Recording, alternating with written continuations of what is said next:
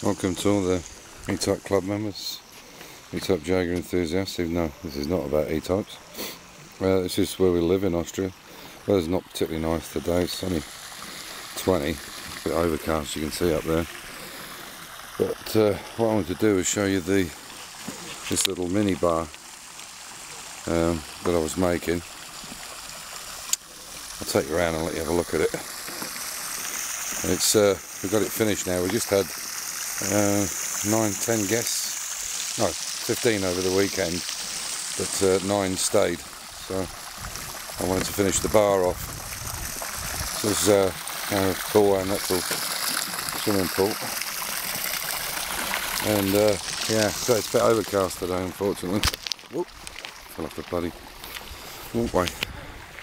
So yeah, this is a bit quirky idea that I came up with. We had a an old uh, Mini Cooper body where uh, the shell wasn't worth keeping. The front end of it, we used some of it for another car, and then I had the back end, and I was trying to think of what to do with it. So this is an idea I came up with.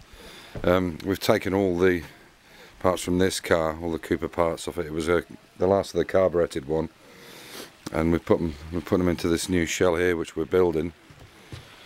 There's a Mini under there, and the way this works is um, you I've got it on the I've got it on casters. It looks like it's on the ground but it's actually on casters. And they're just two false pipes sticking out the back. Make it look like exhaust but they're just pipes. And then when you open the car up you can see you can see here when you open the car up it's got the fridge and the bar and everything inside it. So there's the the fridge with beer and wine and things in it. Still got to do a bit of finishing off. I've, I've got it almost right. Uh, there's a little perspex cover going over this for the glasses and what have you. And uh, I just made that little end up there to cover the to cover where the door check would have been. It's not a real door. It's just a piece of metal I put over it to make it end up going. It's not finished yet. I've still got to put the petrol cap uh, back on it. Um, yeah, and then and then the last thing that will happen is um, oh I didn't show where it was hinged there. There you can see the hinge. In the corner. But what I've got to do now is, is obviously put something here. So when it's closed you don't actually hang on when it's closed and it's straight so what I'll do is I'll put something there uh, so it'd be red you know so it looks like it's the end of the car. So it has something to sit up against.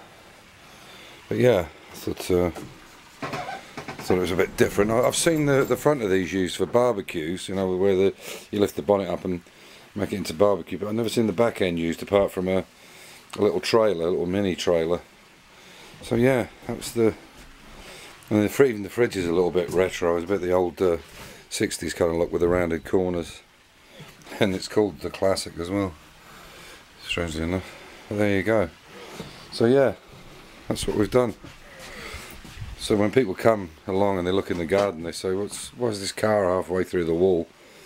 And I just say well it's, it's our mini bar like you get in a hotel. Anyway something different. It was going to the scrap anyway and there was all the bits and pieces were on it so I thought why not use it?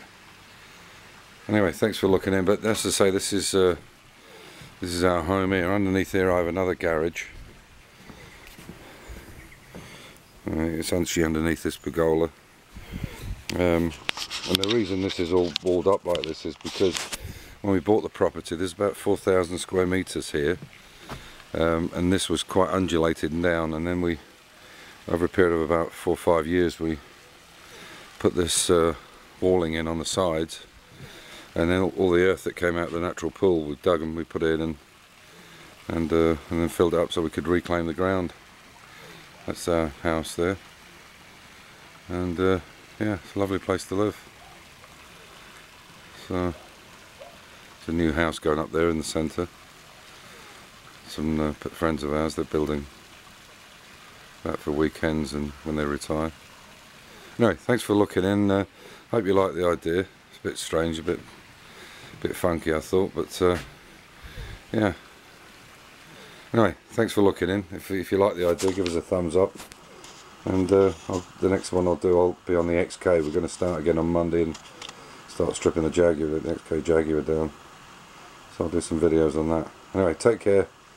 Thanks and have a nice weekend when it comes up. Bye for now. Bye.